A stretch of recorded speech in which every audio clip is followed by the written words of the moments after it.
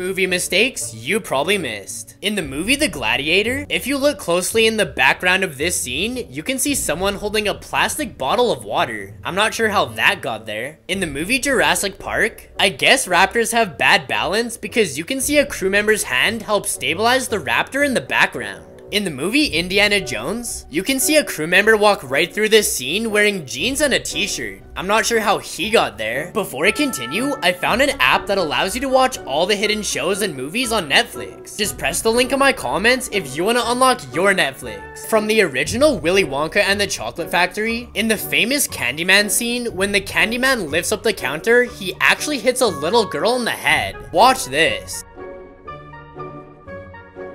Ouch, that's gotta hurt.